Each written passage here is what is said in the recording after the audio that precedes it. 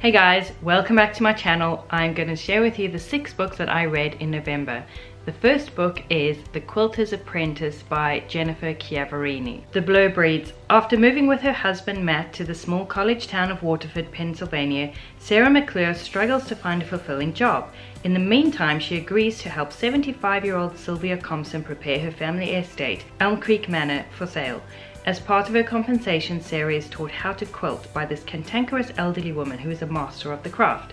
During their lessons, Mrs. Compson reveals how her family was torn apart by tragedy, jealousy, and betrayal, and her stories force Sarah to face uncomfortable truths about her own alienation from her widowed mother. As their friendship deepens, Mrs. Compson confides in Sarah the truth about why she wants to sell Elm Creek Manor. In turn, Sarah seeks a way to bring life and joy back to the estate so that Mrs. Compson can keep her home and Sarah can keep her cherished friend. The Quilter's Apprentice teaches deep lessons about family, friendship, and sisterhood and about creating a life as you would a quilt with time, love, and patience, piecing the miscellaneous and mismatched scraps into a beautiful whole. I've read this whole series of books before. This is the first in a series of, oh, maybe about 15 books. And I've read them all before, as I mentioned, and I have lately just been having a craving to read them again. So I thought I'd begin all over again, and this is book number one in the series. And I enjoyed it as much as I did the first time I read it. I would recommend these books, and you don't have to be into quilting to enjoy the books because it's not really about the quilting, it's about the quilters and about their story. So I would recommend this book and the whole series. The next book is Strange the Dreamer by Laini Taylor. The dream chooses the dreamer, not the other way around, and Laszlo Strange, war orphan and junior librarian, has always feared that his dream chose poorly. Since he was five years old, he's been obsessed with the mythic lost city of Weep, but it would take someone bolder than he to cross half the world in search of it. Then a stunning opportunity presents itself in the person of a hero called the Godslayer and a band of legendary warriors, and he has to seize his chance or lose his dream forever. What happened in Weep 200 years ago to cut it off from the rest of the world? What exactly did the Godslayer slay that went by the name of God? And what is the mysterious problem he now seeks help in solving? The answers await in Weep, but so do more mysteries, including the blue-skinned goddess who appears in Laszlo's dreams. How did he dream her before he knew she existed? And if all the gods are dead, why does she seem so real?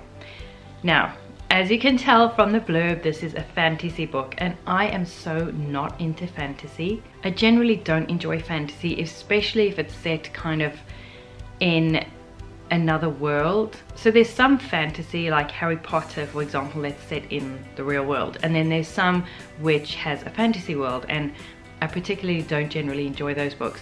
But Laini Taylor, I had heard so many recommendations for her book Daughter of Smoke and Bones, which turned out to be the first in a trilogy, and because I'd heard so many recommendations, I put it on my to-read list. This was a while ago, and eventually I got the book out of the library and I began reading the back blurb, and it was like this one, you know, mentioned fantasy things, and I was like, ugh but because I'd heard it was so good, I read it anyway. And I loved it. I loved the whole trilogy. Grant read it and loved it, which is saying something. Laini Taylor writes so beautifully with an economy of words. She doesn't have long flowery proses. She chooses exactly the right words and strings them together. It is like poetry and her storylines are gripping so enjoyed her previous book that when I saw this book on the library shelf, all I saw was Laini Taylor and I was like, right, I'll get that book out. I don't know what it's about. I know nothing about it, but I'm going to read it because it's by her. And I loved it, absolutely loved it. I found that I looked forward to the next time I was gonna read it. You know when you're like, oh, I'm looking forward to going to bed because I can read my book or making an excuse to pick it up in the afternoon just to read what happens next. One of those books. Finished the book, realized it was not finished because it was the first of a series raced to get the second book in the series and she's still busy writing it. Don't you hate it when that happens? So I love the book and I would recommend it, but not if you don't want to have to wait for the next one. Really annoying. But if you are looking for something similar that is by Laini Taylor, Daughter of Smoke and Bone, definitely wonderful. Go and read. The next book is The Summer Seaside Kitchen by Jenny Colgan. Flora is definitely, absolutely sure that escaping from the quiet Scottish island where she grew up to the noise and hustle of the big city was the right choice. What was there for her on Mure? It's a place where everyone has known her all her life and no one will let her forget the past. In the city, she can be anonymous, ambitious, and indulge herself in her hopeless crush on her gorgeous boss Joel. When a new client demands Flora's presence back on Mure, she's suddenly swept back into life with her brothers, all strapping, loud, and seemingly incapable of basic housework, and her father. As Flora indulges her newfound love of cooking and breathes life into the dusty little pink-fronted shop on the harbour, she's also going to have to come to terms with past mistakes and work out exactly where her future lies. Not a whole lot to say about this book. I did enjoy it. I enjoyed the characters and the setting. It was a bit different just to be set on this small island and just overall a fun read. Bit chiclety, light reading. If you're looking for something like that, then I would recommend this one. The next book is The Christmas Quilt by Jennifer Chiaverini. When Christmas Eve comes to Elm Creek Manor, the tenor of the holiday is far from certain. Sylvia Bergstrom Compson, the master quilter, has her own reasons for preferring a quiet, even subdued Christmas. Her young friend Sarah McClure, however, takes the opposite view and decides to deck the halls brightly. As she explores the trunks packed with Bergstrom family decorations that haven't been touched in more than 50 years, Sarah discovers a curious Christmas quilt. Begun in seasonal fabrics and patterns, the quilt remains unfinished. Sylvia reveals that the handiwork spans several generations and a quartet of Bergstrom quilters, her great aunt, her mother, her sister, and herself. As she examines the array of quilt blocks each family member contributed but never completed, memories of Christmases past emerge. At Elm Creek Manor, Christmas began as a celebration of simple virtues, joy and hope buoyed by the spirit of giving. As each successive generation of Bergstroms lived through its unique trials, the antebellum era, the Great Depression, World War II, tradition offered sustenance even during the most difficult times. For Sylvia, who's coping with the modern problem of family dispersed, estranged, or even forgotten, reconciliation with her personal history may prove as elusive as piecing the Christmas quilt. Elm Creek Manor is full of secrets, from a Christmas tree with unusual properties to the sublime Bergstrom strudel recipe.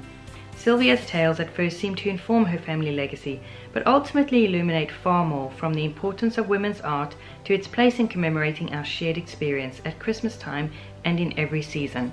This is the next book in the series. I mentioned the first book that I started with, which was The Quilter's Apprentice. I think this was written as book number eight, but I found as I read the whole series that it slotted in well as book number two. So that is the order that I read them in. And it came in a timely manner because I am switching over to Christmas books at this point.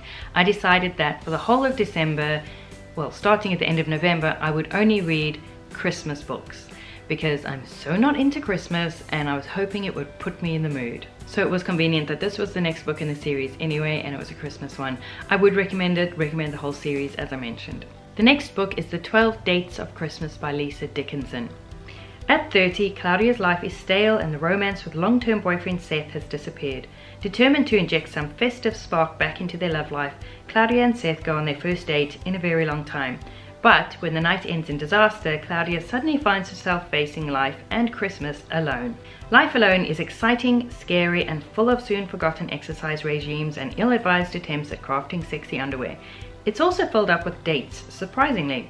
With best friends Penny and Nick at her side, a surplus of festive markets, mulled wine, and Christmas tunes, Claudia attempts to face all this change with gusto. One thing's for certain this year, Christmas is going to be very different. This is the story of Claudia and her 12 dates of Christmas.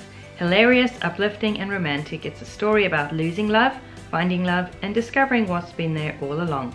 Expect Christmas sparkle, butterflies in your stomach romance, and a lot of very funny moments in the 12 dates of Christmas. This book was complete chick lit, there's no getting around it, no other way to describe it, but it was enjoyable and I would recommend it if you're looking for a light read. The last book that I read in November is Christmas at the Cupcake Cafe by Jenny Colgan. Izzy Randall, proud owner of the Cupcake Cafe, is in love and couldn't be happier. Her new business is thriving and she's surrounded by close friends, even if her cupcake colleagues Pearl and Caroline don't seem quite as upbeat about the upcoming season of snow and merriment. But when her boyfriend Austin is scouted for a possible move to New York, Izzy is forced to face up to the prospect of a long distance romance. And when the Christmas rush at the cafe with its increased demand for her delectable creations begins to take its toll, Izzy has to decide what she holds most dear. This December, Izzy will have to rely on all her reserves of courage, good nature, and cinnamon to make sure everyone has a Merry Christmas one way or the other. I enjoyed this book partly because I read the book preceding it, which was Meet Me at the Cupcake Cafe. I think that's what it was called. And this is a follow-on to that book and timely because it's a Christmas book. I read the other one a few years ago, so I vaguely remember the story, but I don't think you need to have read the first story to enjoy this. I think you'd enjoy more if you kind of knew everybody's backstory and how they got there, but it's not crucial. But it was enjoyable and I would recommend it. So those are the six books that I read in November. December is going to be all Christmas books until Christmas because the day after Christmas I'm like done with Christmas and I don't want a Christmas anymore and how many times can I say Christmas? I wonder what you guys are doing to prepare for the festive season. What do you do to kind of get yourself in the mood or do you just love Christmas and it doesn't take much to get you in the mood? I'd love to know, so leave me a comment down below. Thanks so much for watching and I will see you in the next one.